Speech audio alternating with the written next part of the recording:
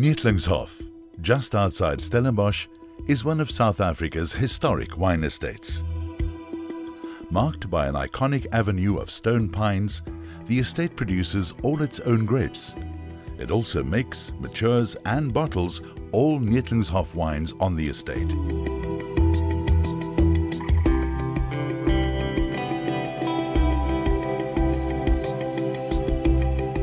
Thanks to a diversity of planting slopes, ideal soil types and grape cultivars perfectly matched to the terroir, the estate has been able to successfully cultivate no less than 13 single cultivars. Neethlingshof's 100 hectares of plantings are split roughly 50-50 between red and white cultivars on elevations ranging from 65 to 282 meters above sea level and thrive in some of the most ideal soils for viticulture. The higher elevations of the Bottelary Hill consist mostly of oak leaf. This deep apedal soil has excellent water retention capability and a high buffer capacity thanks to its 10% clay content and general lack of stones. On the lower slopes and the valley floor, the predominantly Tukulu soil type has a similarly high buffer capacity, but being slightly less fertile, naturally inhibits foliage growth in favor of fruit development. Both oakleaf and Tukulu soil types contain a mix of clay and decomposed granite that releases moisture over extended periods.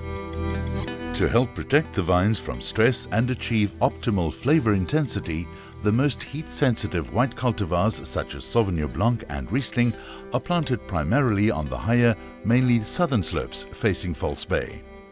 The rows are diagonally oriented to the prevailing winds to optimize the cooling flow from the Atlantic breezes from False Bay through the blocks. Visible from the higher slopes, the sea is only 13 kilometers away.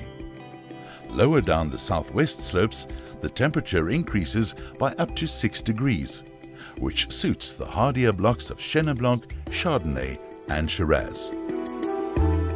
The southwest-facing hillside is also home to Neethlingshof's oldest vines.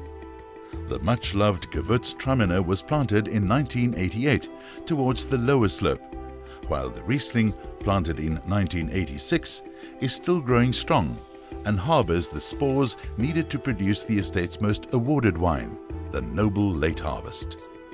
Over the crest of the hill to the north side, the terroir is in general more suited to red grape cultivars as well as some select whites. Merlot and Viognier blocks occupy the highest position towards the north corner of the farm, with three Malbec blocks on the northeastern slopes. Cabernet Sauvignon, Stellenbosch's signature cultivar, occupies a large part of the southwest-facing slope. The heavy clay-rich terroir is ideally suited to the cultivar and the vines thrive, producing an average yield of 12 tons per hectare. The Cabernet Sauvignon is planted alongside smaller blocks of Petit Verdot, Cabernet Franc and Pinotage, cultivars that also thrive in leaner Tukulu soils. Neethlingshof wines are living proof of the delicate balance between terroir, plant and the winemaker's art. As a World Wildlife Fund conservation champion, the estate uses the absolute minimum pest control interventions in its drive to balance nature and winemaking on the estate.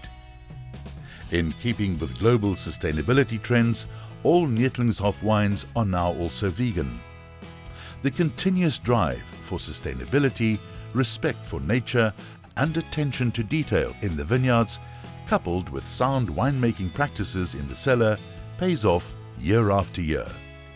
The proof is in the many accolades bestowed on Neethlingshof's single varietal and blended ranges.